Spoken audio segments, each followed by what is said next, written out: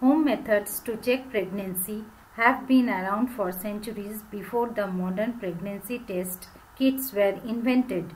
People living in medieval times had no access to commercially available pregnancy testing kits and were forced to rely on primitive methods. A lot of these natural pregnancy tests are still very useful today as they are easy to conduct.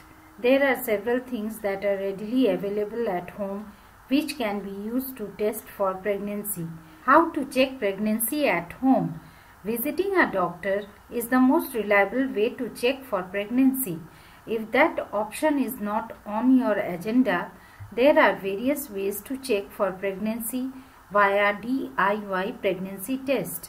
Most DIY pregnancy tests are done by analyzing your urine Make sure to collect the first urine when you wake up in the morning as it is the most concentrated and will give accurate results.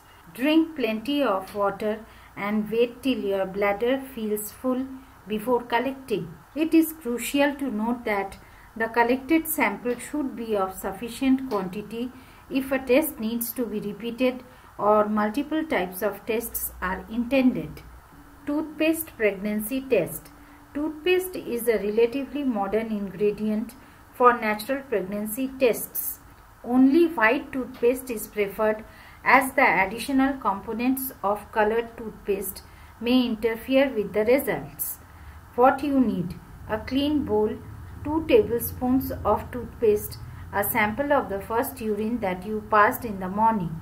Method Place 2 tablespoons of toothpaste in the bowl. Add a tablespoon of the collected urine sample. Wait and observe. Positive sign.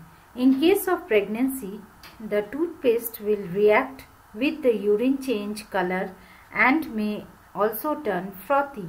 The color change should usually result in the toothpaste getting bluish. Negative sign. In case of negative pregnancy, the toothpaste would not react with the urine at all. Caution While this test is useful and can be easily done at home, there are certain drawbacks. For one, there are no prescribed guidelines to how much urine needs to be added to the toothpaste. Secondly, the time it takes for the reaction could vary.